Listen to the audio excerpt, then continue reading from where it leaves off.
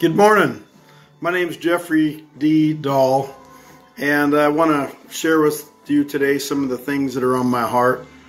My wife Colleen's always telling me uh, that I should share, and so I will. And, you know, a lot of times in uh, modern day churches, we don't always have a forum, a forum to share because the pastor preaches, you know, 90% of the time, and then other people or guest speakers share, and and that's okay. I mean, that's kind of the traditional format, and uh, so I'm just kind of utilizing another format, which is uh, YouTube. So I'm coming to you this morning with my cup of coffee and my Bible and with some things on my heart. And uh, I want to talk to you today about Martin Luther's 95 Thesis, written in 1517. Oh my. You know, most Christians today, when I say Christians, I would include Catholics or Christians, people who call upon the name of the Lord Jesus Christ as their Savior and Lord, uh, people who believe that that Jesus' blood upon the cross saved them from their sins. That's the bottom line with Christianity. And the word Christian is to be Christ like. And so, you know, when I went to India in 1984 with my parents, I learned real quick that uh, um, 90%, let's see, only 1%, there's a billion people in India and only 1% of, or half of 1% is Christian. And of that half of 1%, 90% of that is Catholic. And so in 84, uh, my parents and I worked side by side with Jesuit priests who love the Lord Jesus Christ. And, you know, there's a term uh, a lot of Protestants uh, Oh, I got to come back to that term Protestant in a minute. But a lot of term, a lot of Protestants would say is they're born again Catholics, you know, which is to mean that it's enough that Jesus' blood is enough to save you. And when my dad was there in the in India in '84, one guy spoke up. We were having an afternoon meeting, and a guy spoke up and he said, uh, uh, you know, you're a Protestant, you know. And my dad looked at him with the most eloquent answer possible. It was really cool to watch. My dad was really cool under fire. Uh, and God's Spirit was with him because there was a real gentleness in how my dad delivered the Word of God. And he said, I'm not protesting anything. I'm not here to protest anything. I'm not a pro, you know that's where the word Protestant comes from is protester. And so my dad took him through the Lord's Prayer and preached the whole sermon on the Lord's Prayer, which no Catholic would refute the Lord's Prayer. That's, you know, that's sacred scripture. And it was awesome, you know, because my dad wasn't there to like stir up controversy amongst the Catholic Church. And I certainly am not either. Uh, but I want to address what Martin Luther, who was a priest of priests, you have to understand, he wasn't just some, you know, priest. He was a top-notch priest. If they fasted, he would fast longer. He was kind of like the Iron Man priest. I mean, this guy was hardcore.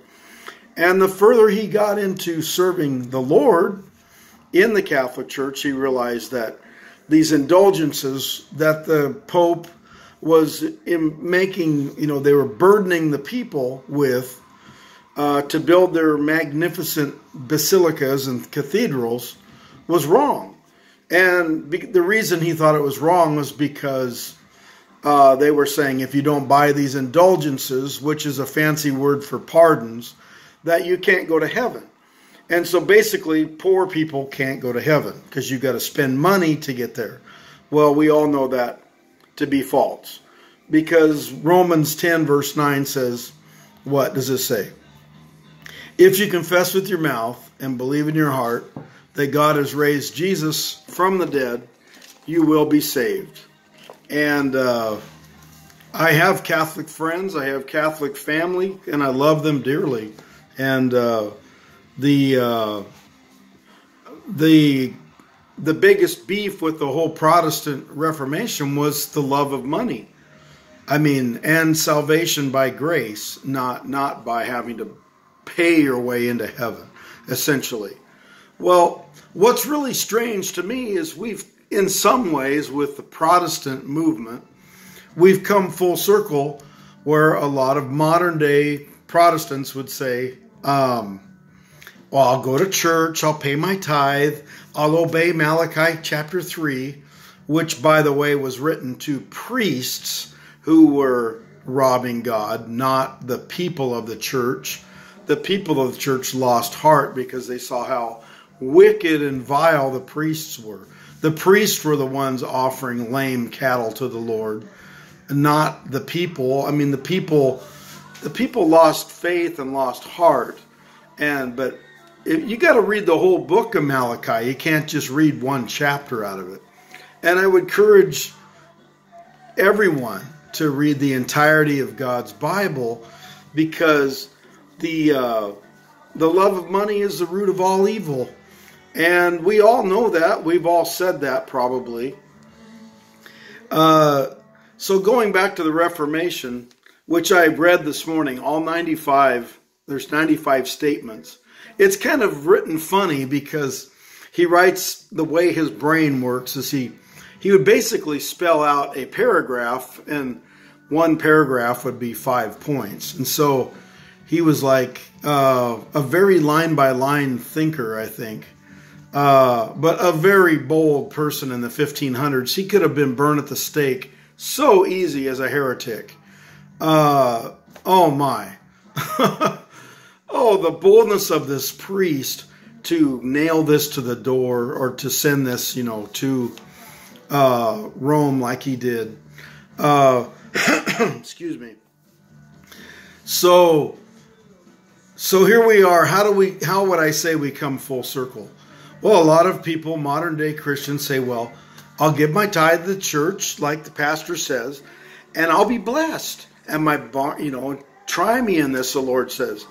Uh, well, like I said, the Lord was rebuking the priests because they were the ones that were the abusers of of God's money.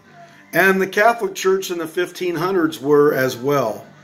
And this financial corruption and financial sin is wrong and evil.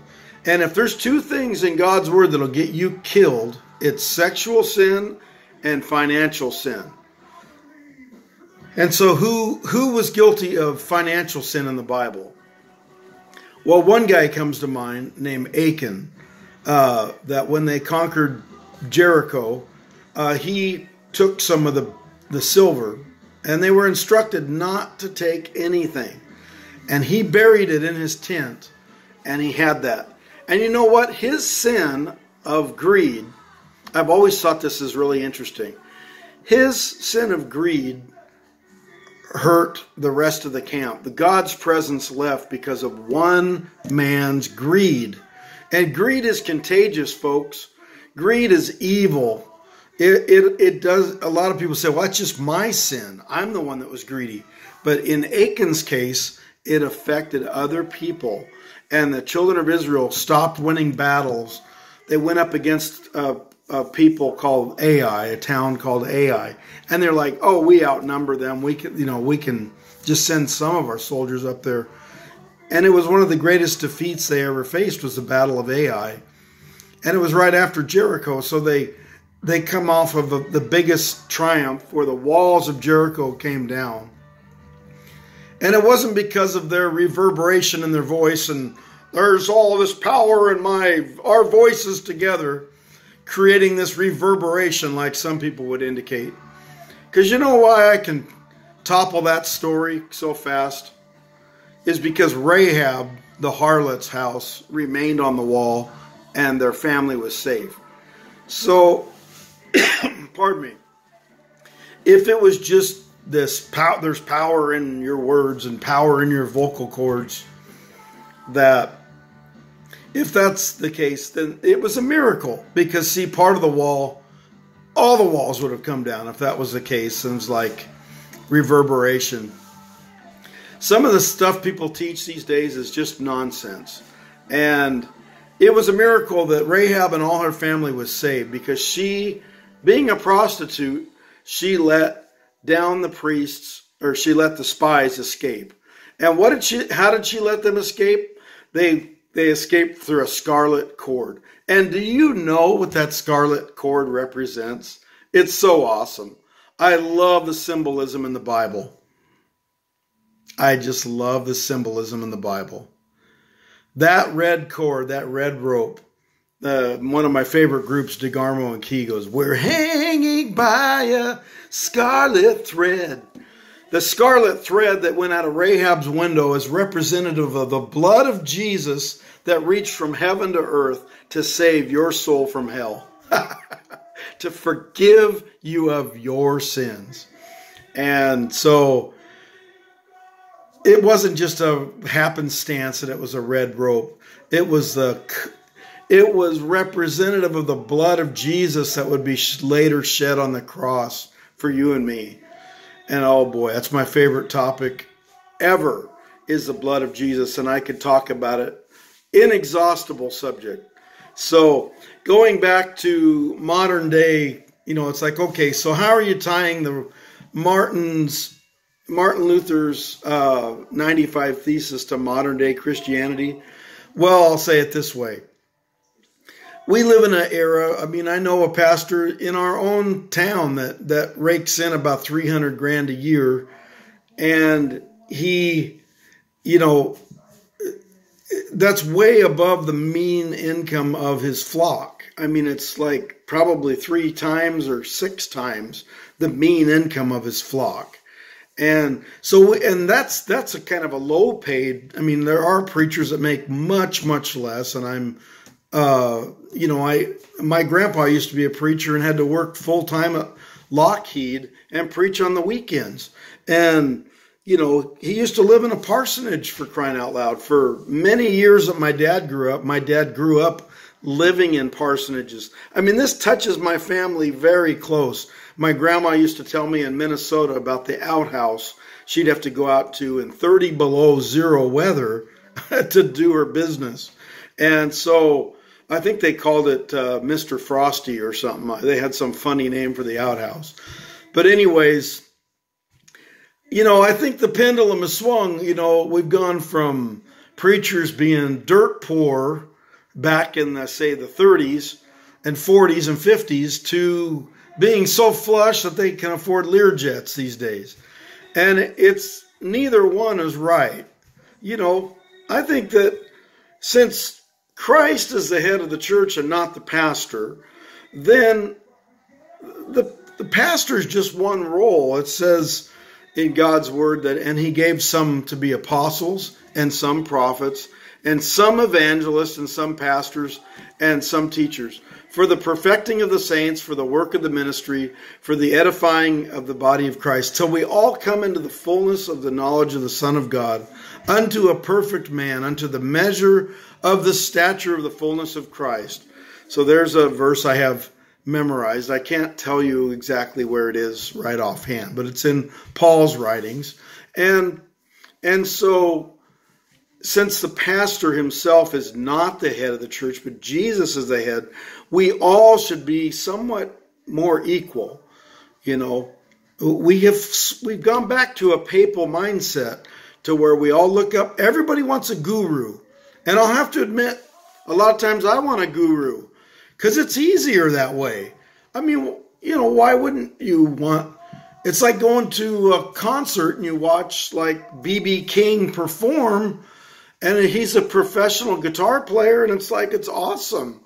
And I love hearing really good preachers preach. I've been, if you only know how many sermons I have heard, oh my. I mean, I was at Kathryn Kuhlman meetings when I was four years old with my mom. And and so why do I think that that we need another reformation? I think that the same problem that plagued the Catholic Church, and honestly, I thank God for the Catholic Church Because if it weren't for the Catholic Church, Christianity wouldn't have not have made it through the Dark Ages because the priests were the only ones who knew how to read. I mean, they have played a major part in pres- preservation of Christianity, and the the whole Reformation wasn't coming out against the Catholic Church; it was coming out against the greed in the Catholic Church and people like worshiping the Pope instead of the Lord Jesus Christ, and and uh, and so my heart isn't to just sit here and poke pot shots at anything, but to say we must really take a hard look at greed. So I talked about Achan. Going back to Achan, he was he his greed was finally exposed to Joshua, and it says that not just him, but all of his family and all his possessions and even his animals, his donkeys, were thrown into a pit and they were stoned to death. This is how evil and wrong it is. Yet somehow we've, with our sugar coating over the years of tradition, we've sugar coated how wrong it is for people to covet. It's one of the Ten Commandments, thou shalt not covet. And um, I'm not trying to look angry. Sometimes I have a kind of a crease in my forehead that that uh, I was born with it. Okay, it's not it when I think, especially when I'm really thinking about stuff. It's uh, you know it makes me look meaner than I actually am. But uh, my dad was kind of that way too, uh, as was my grandfather. So uh, who's the next one who is a greedy one? Do you know who Gehazi was? He was Elisha's servant. And here, here uh, the story of Naaman, or the some people say Naaman. Uh, we'll call him Naaman today. Naaman the Syrian uh, is a, a wealthy man, and uh, he has leprosy, an incurable disease in those days the worst thing that would have been like AIDS or something today or cancer. You know, you have leprosy. And so he came to Elisha and and what's he say? He won't even he won't even uh, uh, he won't even appear to him. He won't even talk to him. He just sends his servant Gehazi to go talk to him. And uh, and so in the story, he uh, says you need to go wash in the Jordan River seven times. Just tell him that. And so he feels really disrespected because the prophet won't talk to him face to face. And uh, so he doesn't want to go dip in the Jordan River. And the servant of, of Naaman says, You know, if he'd asked you something really hard, would you not be willing to do that? You know, what's it going to hurt? You, you've got a fatal disease. And so you know, imagine how you would feel. You know, you got this white patch on your skin that that's dying. I've actually seen leprosy when I was in India, and I've been inside of Mother Teresa's leprosarium, and I've seen people where you can see their teeth right through their cheek. It's really frightening to see. But I that's what I'm 55 now, and I saw that when I was 19, and uh, it's a very uh, it's just a you know your part of your body's dying visibly while you're still alive. It's just really terrible. And uh, so so he so long story short he finally obeys and and is healed you know and and later gehazi chases after you know is off you know the the prophet first face to face is offered silver five talents of silver for the miracle. And uh, you know instead of saying well bless god you know thank you for blessing my ministry he says I, i'm not taking any money for that. That wasn't me and it's not i'm not worthy of the money. So he and and changes of raiment too you know he just really wanted to say thank you and it's a normal thing, but he wouldn't take it, and uh, which shows the humility of the prophet. And but Gehazi was tempted by it, and he chased down the caravan. And Said, uh, "My master has changed his mind," and uh, so so uh, I apologize for not giving scripture references for what I'm saying. Uh, in the future, I will. And uh, the he came back and says, "Where have you been?" And he says, uh, "You know, oh, I've been out and about." And he says, "Yeah, I, I could see you getting that stuff." And the Lord showed him, showed him what his sin was. And guess who wound up with the leprosy? And it says that Gehazi became white as snow. And so, and then if you, that's in the Old Testament, you fast forward to the New Testament, and greed is addressed with Ananias and Sapphira. When everyone's being so generous, generosity was being manifested in the early church. Somebody sold their property and donated it, and they thought, well, maybe we should do that, but we'll hold back some of the money. It wasn't, I don't believe it was so much the the holding back of the money. I think what they did is they lied about it. They made it out to be that they were giving the whole amount. You know, maybe if they were forthright about what they were doing, they wouldn't have been killed. But they wanted the glory for themselves. And that's, you know, that's a big problem with things if you want the glory for yourself. We all must evaluate why we do things. Do we want the glory for ourselves? Do we want those changes of raiment? Do we want those five talents of silver for ourselves? I mean, we need to live. Uh, and I think that in our nation, uh, we've gone from we've gone from putting our ministers of the Lord Jesus Christ in in parsonages and keeping them poor so they'll be humble, which is kind of pathetic, to swinging the other way to where we put them on a pedestal and exalt them to the point of where they're like rock stars. I mean, and all tax exempt. I mean, the whole tax exempt status is because they were poor.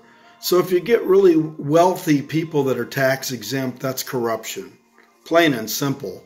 And I'm stunned that American businessmen haven't risen up against that because it's not fair. It's not fair across the board. Uh, to call yourself a nonprofit if you're making millions of dollars and pocketing millions of dollars and buying things for your ministry that you know it's it saddens me because we're right back to the same place where we need another Martin Luther to nail another 95 thesis on the door of the Protestant church and say, hey, you know, you're not asking for money for uh, you know, for pardons or or whatever the word they called those in the the old days. They, you you know, they would they would have to pay money for their salvation. They'd have to pay money for when they would sin. They would have to uh, pay money, and, and even one of the grievances was as if they owe money to the Catholic Church when they die, it should be pardoned. and it was like, oh, money? It sounded more like a bank than a church. And so uh, maybe it was called the First Bank of Rome. I don't I don't know. Uh, anyways, the the bottom line is the love of money is evil. And the Bible's very clear about that. And somehow through all of our tradition, we've in American we've Americanized the Bible to the point to where a lot of things are acceptable. And God's word is clear, and we must read the entirety, all 66 books of the Bible, to maintain that clarity and that purity. And so I'm going to close today with that. And, um, you know, would urge you to look at the 95 thesis that he wrote and see, wow, this was all about greed. And if you are caught in covetousness and greed, you need to repent before the Lord because it's evil and it's wrong. If you're a pastor and you're strong arming people into giving and using guilt as a tactic, you need to repent of that because the Lord isn't pleased by that. And we should be giving one to another. The world will know you are Christians by your love, not by your success or your, your wealth, but by your love. And uh, Francis Chan is someone I've been listening to lately that I, I, think it's really interesting. He says, you know, most of the church does church and it's free. because they meet house to house, and and it's like the whole concept of having a really high overhead ministry is not really entirely scriptural. And when Peter was released from prison, where did he go to? The synagogue? Or did he go to Rhoda's house? You know, to Mary's house, the mother of John Mark. And so uh, that's where he went, you know. And the little girl uh, didn't let him in at first. And when she told them that he was at the door, they were like, You're lying to us. Of course, as they were praying for him to be delivered, so their level of faith was kind of comical that they didn't believe that God would answer their prayer. But he did. And so uh, I know I've said a lot this morning, and I apologize for not backing it up with scripture references. I have used God's word, but I'll be sure to give my references in the future. And uh, honey, I'm I'm doing it. You know, you asked me to preach on YouTube, and so I am. And uh, I believe that God's word is quick and powerful and sharper than any two-edged sword. And if you go to a church where this sits under your table, sits under your chair, and you're not using the Bible, you need to find a different church or encourage your pastor to to use more scripture. Many many churches use God's word effectively and and uh, you know the the sound of pages being turned is the sound of life, and we all need to know God's word, and we all need to stir up the gift that's within us. You may not consider yourself to be a preacher. I certainly don't. I have a very you know, my dad was a really great preacher. My grandfather was a really great preacher. My mom's a really great preacher. My older brother Steve's a really great preacher. And so some of these guys are hard, tough acts to follow. My brother-in-law, Steve Kaler, in Japan.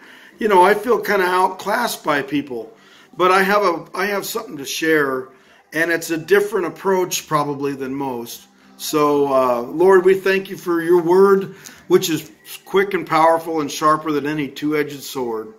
And Lord, it separates good from evil. It separates uh, it cuts right down to the bone, basically. And so it gets to the heart of the matter. I thank you for your word in Jesus' name. Amen. So I hope you're blessed today by this. And uh, if you like what I did, please don't hesitate to click on subscribe. And uh, we'll talk to you later. Thanks. Bye.